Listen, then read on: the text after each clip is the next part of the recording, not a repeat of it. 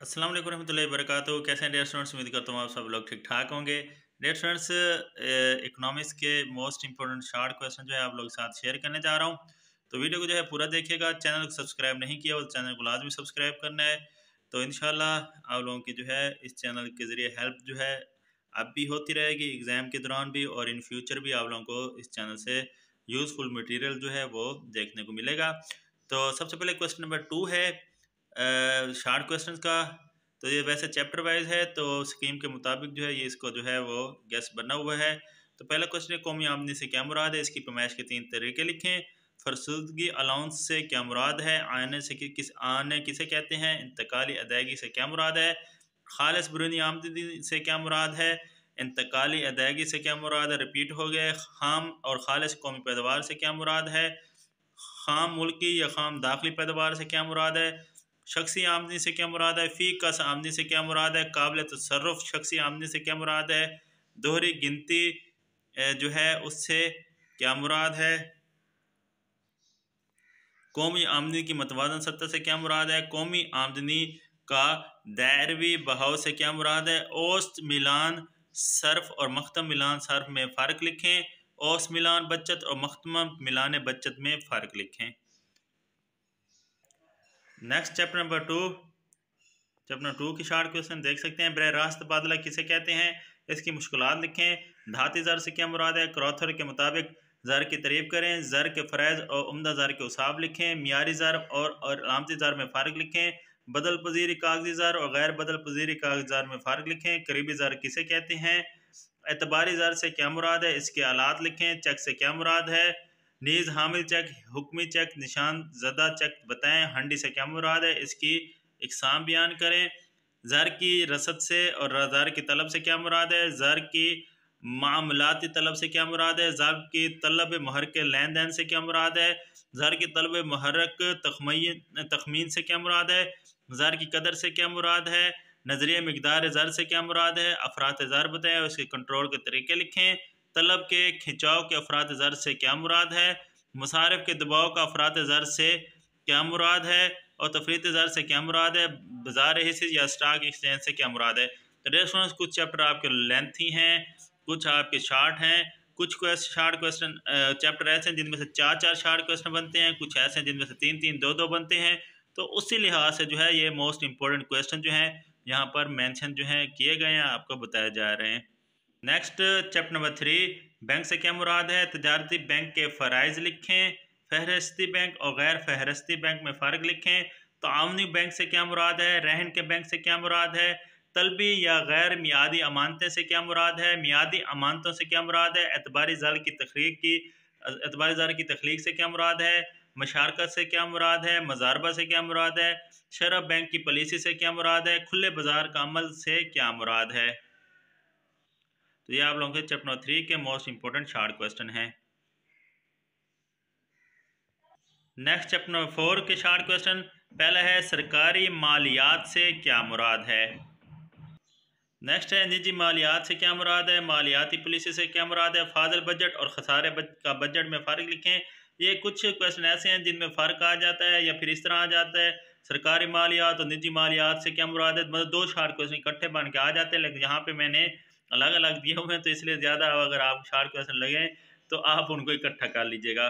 उसके बाद है फाजल बजट और खसारे बजट में फ़र्क लिखें, तमवील खासर से क्या मुराद है, और अफराती रखना और तफरीती रखना से क्या मुराद है, कामिल रोज़गार से क्या मुराद है, टैक्स से क्या मुराद है, इसकी इकसाम जो हैं, लिखें और टैक्स आयद करने के अहम मसूल लिखें।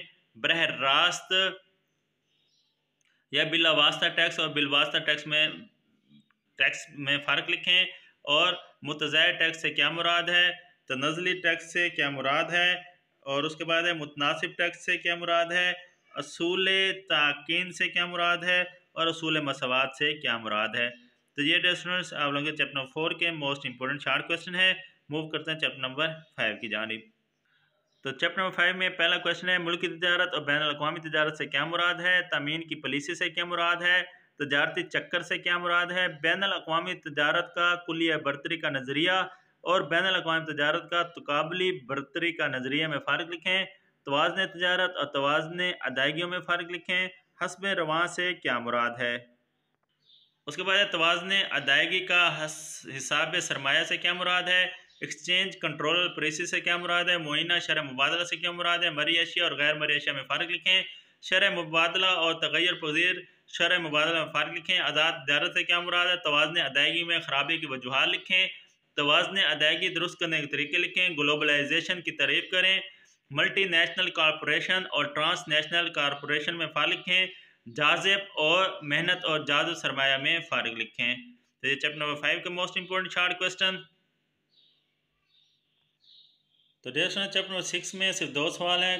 कौमियान की पुलिस और नजकारी की पुलिस से क्या मुराद है? पाकिस्तान की मीशत की अहम खसूसियात लिखें, लिखा हुआ नज़र ना आ रहा हो तो जो है वो आप ऐसे जो है वो नोट कर लीजिएगा। कौमियान की पुलिस और निजकारी की पुलिस से क्या मुराद है? और पाकिस्तान की मीशत की अहम खसूसियात लिखें। उसके बाद चैप्टर नंबर सेवन, कौमी आमदनी की पैमाइश में मुश्किल से क्या मुराद है? फ़ी कस आमदनी बढ़ाने के हकूमती इकदाम से क्या मुराद है?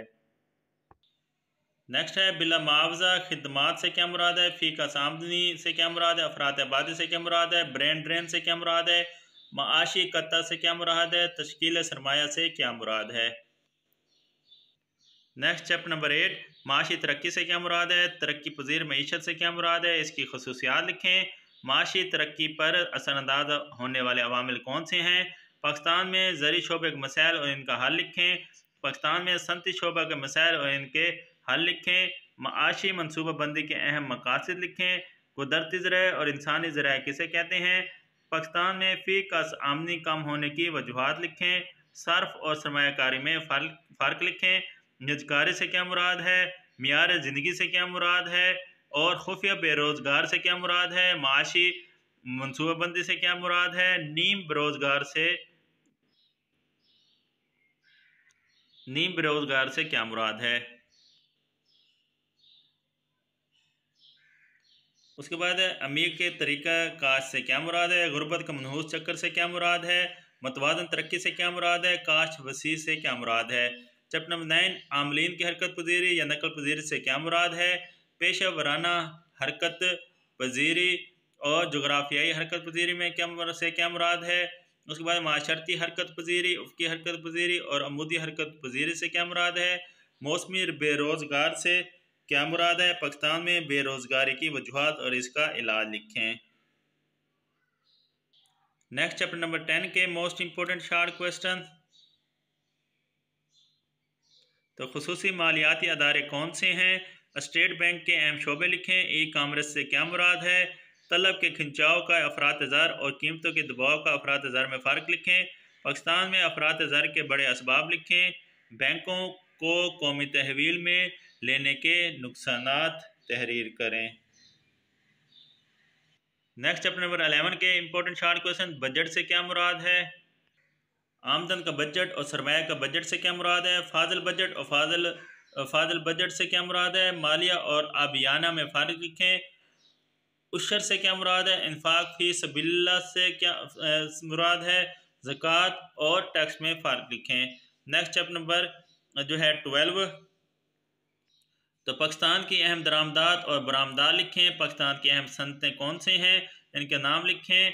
मुन शर मुबादला से मुन शर मुबादला से क्या मुराद है? इसके फ़ायदे और नुकसान लिखें।